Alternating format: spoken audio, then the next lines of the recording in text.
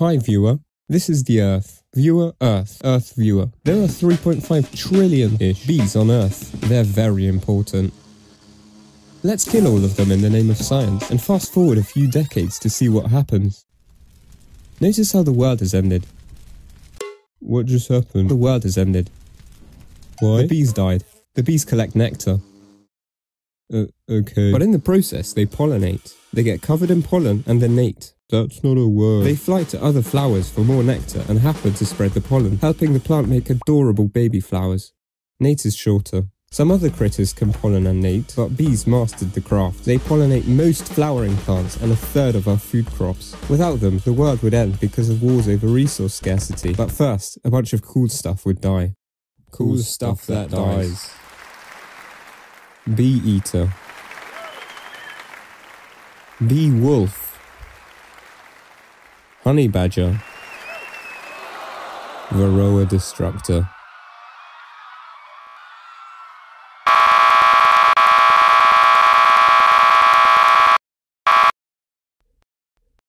Hi, welcome back to Earth. Remember those 3.5 trillion uh, bees? They were very important, and we killed all of them.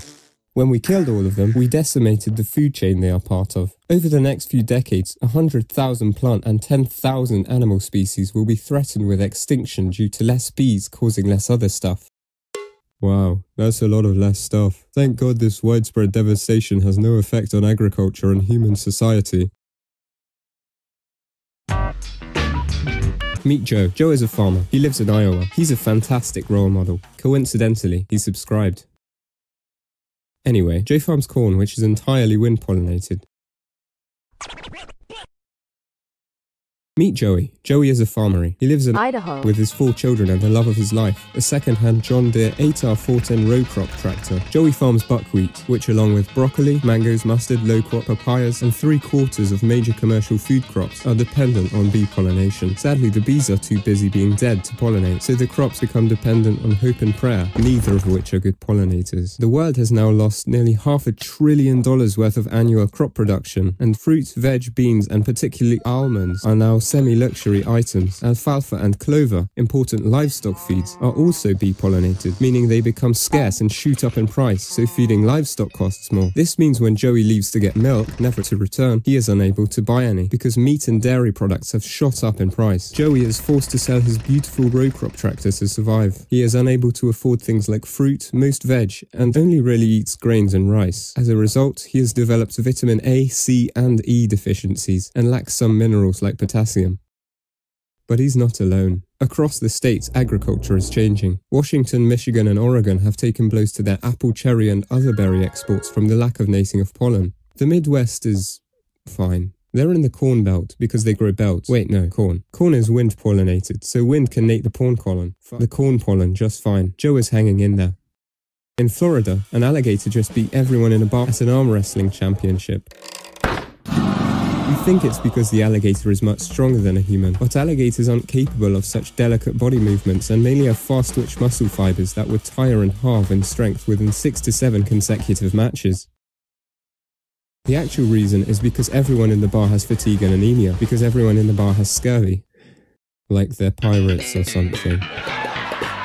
This is thanks to the collapse of the Floridian citrus industry, a loss of $220 million worth of oranges, grapefruits, and other vital vitamin C sources. Alligators, along with most animals, synthesize their own vitamin C, so don't develop scurvy like they're pirates or something. But California has been hit the worst. It contributes 13% of US agricultural GDP, consisting of bee-pollinated foods like avocados and melons. But its biggest loss is the almond industry's collapse, completely reliant on bee pollination, which used to rake in 4 billion bucks in exports and put 11 billion towards the state's economy, comparable to the annual output of Bhutan and Montenegro. Oh yeah, how's the rest of the world doing? Eh. In Europe, Ukraine and Russia are making bread because they grow a lot of wheat, which doesn't need bees. Spain, Italy, and the Balkans grow a lot of fruit, meaning they're growing a lot less fruit now and making a lot less money. This goes for the Middle East too, and the Maghreb region. The rest of Africa is doing even worse, since the cash crops are failing. In South America, there's this big patch of green that we hurt the feelings of, so it's throwing a big temper tantrum in the form of ecologic collapse. Across the planet, food and trade is crumbling into the ground, directly affecting $3 hmm. trillion worth of trade, causing nearly 3 billion people to go hungry. Oh well, at least not everyone dies.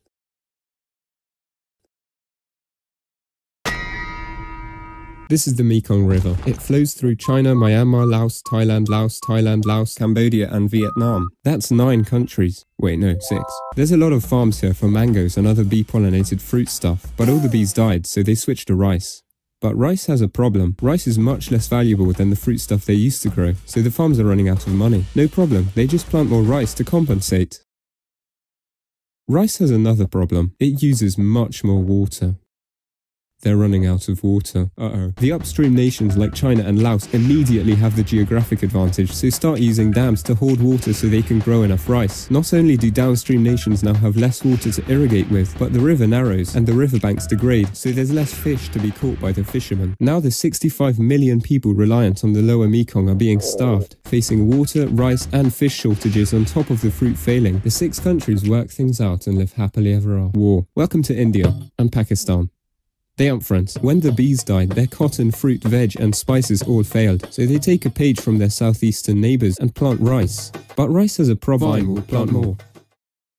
Rice has another problem. Fine, we'll use more rivers, says India. Let's use the Brahmaputra and the Ganga. Eh, there's a lot of us. Let's use the Indus too. Hey, says Pakistan from downstream menacingly. We use that one too. In fact, 240 million of us do, over 90% of our population. We're just gonna build some dams, says India. War. Let's go to Mexico. In Mexico, they used to grow avocados, tomatoes, and a lot more bee pollinated foodos. Now they farm a lot of corn. Shout out Joe. But some people are in financial ruin because their farms failed, so they migrate to the States. A lot more follow.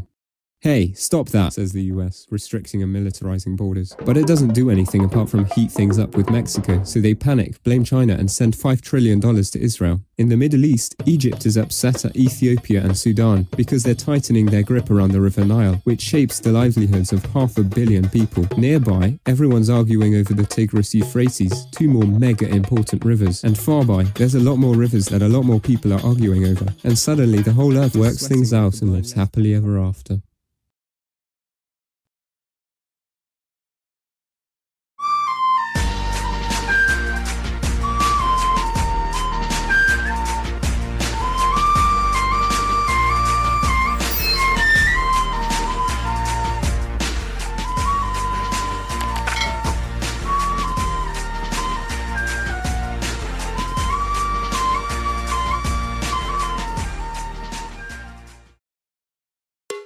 Wow, bees are really important. Thank God none of this is really happening.